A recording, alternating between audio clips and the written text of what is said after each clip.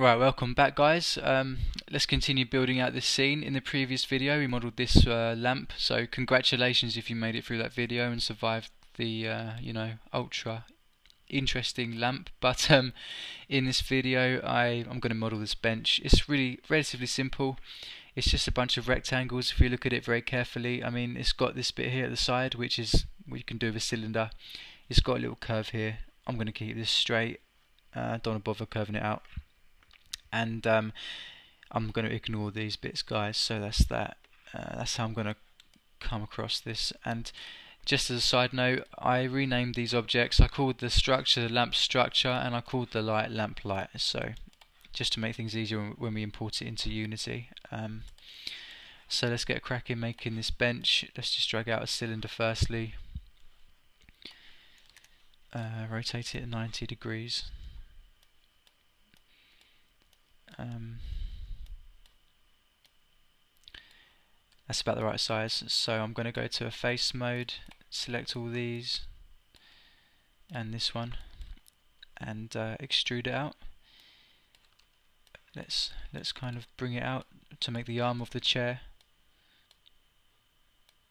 Uh, I'm going to use a new tool guys, cut faces. We're just going to cut a face here, um, or try to cut a face there if I've got the right thing selected. Um, let's try again. So I want to cut the faces of this. Um, let's go in a decent view, if I can find a decent view. Um, there we go. So let's just cut it straight down the middle. Let's do it a couple of times and go back to this view. Um,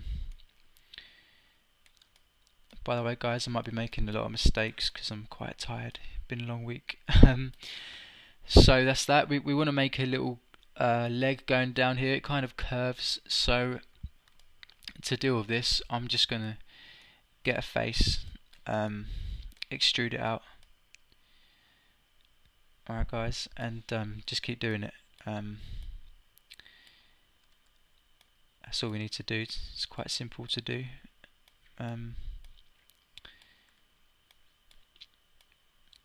so uh, that's as simple as that guys. This little technique we've got going on um, so that's all it is guys. Just just making the the loop by extruding.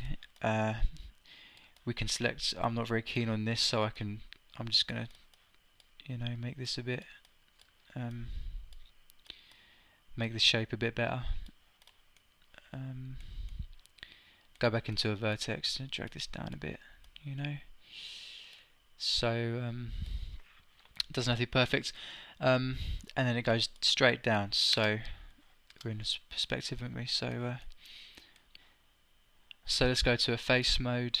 Let's extrude it down to make the arm of the, the bench um, or the leg even. So what's next? We've got this bit that's kind of diagonally going down.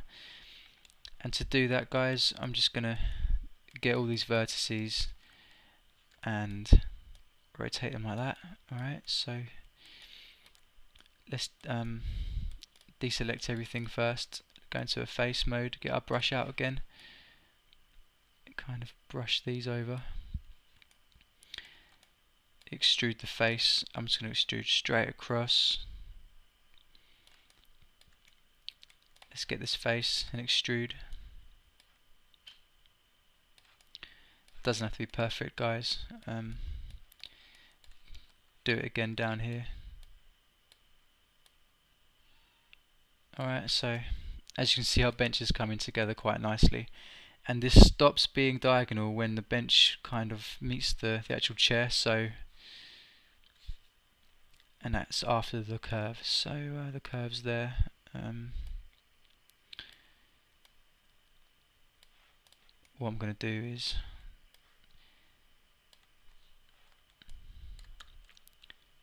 Let's bring just make it a bit smaller. just to make things a bit more to scale and simple as that. So we want to connect the bench here, connect the bench there. Um, again extrude. Alright guys, so let's get the vertices, bring them down a bit. There are other ways of um, you know dealing with this problem, but um, I'm opting to do this bit first. Let's get another edge loop. Um, I don't want to do that, so let's go into the tool. Uh, relative to the distance, yep, let's go back to the default values. Um, there, and let's put another one here. And um, I'm just going to speed things up a bit guys, I'm just going to extrude this and just bring it into the, this side of the chair, just speed things up. Um, so what's next? Um, this bit of the chair. Um, again we're going to extrude extrude um, going to be a bit more adventurous here guys so I'm just going to do that um, let's get our edge loop tool out. Um, let's make about 15 edge loops if we can. No 9 alright let's do that. Uh, let's do it there. So we're now creating the different the um, bits of wood that make up the bench so.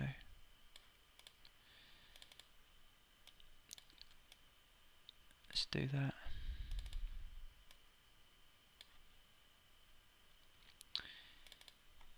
delete these out um, or not actually. Let's don't have to be perfect guys remember? Um, I'm just trying to rush through this as well so. Can that be one? Um, you know what? No it can't because it's going into this object so let's extrude it. Let's bring it out. Um, let's snap them to this vertex if we can Alright guys, so press X for this one, hold X and then middle mouse the vertex you want to snap it to. Um, that'll do. So the next thing you want to do is just make the rest of the chair. So let's extrude again. Let's extrude this bit this time. Let's go back into our edge loop tool again, do this. Uh, again guys, I'm sorry about this, but we've got to line up each one again. Uh, if I can select it. Alright guys, so we want a little gap before we actually do the extrude. Um, I'm making these quite thick so we don't have to spend too much time doing this but feel free to, to make your own guys and make it look good. So I want to do this in about uh, 10 minutes, 10 minute video. Let's just get this one. Uh, we're going to need another edge loop, aren't we? So, uh, right, edge loop tool again. Okay, that'll do. So let's go into a face again. Alright guys. Extrude and let's just bring it up into our main bit, our main plank of wood. So as you can see guys, it's pretty simple to do. Um, I kind of took a bit more care over this model, so I'm probably going to use this model in the next video to show you guys how to texture map it and stuff. But um, that's basically what it basically what it is. And if we want to uh, make the other half of the bench, we just uh, what we call mirror it. We can go to mesh mirror geometry, if we click the box we can do it in for example negative x we should do it in that direction. So uh, I think we need to do it in negative z. Let's try that. Um, it's positive z actually. So uh, try again. Alright guys so that's basically how we would do it.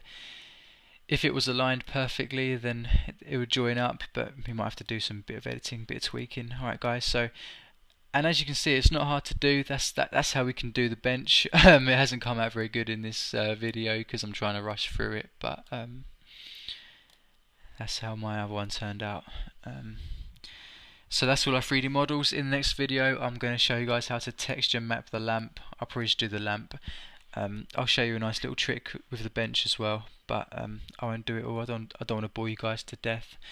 And then we'll model the character. Alright, guys. So um, and after we've done all our objects, we'll go back into Unity and fiddle about with the settings and stuff. Feel free to skip this part of the, the uh, project, guys, if you want, and go straight to the Unity stuff. It's a lot more interesting. So, um, hopefully, I'll see you in the next video, guys, and thanks for watching.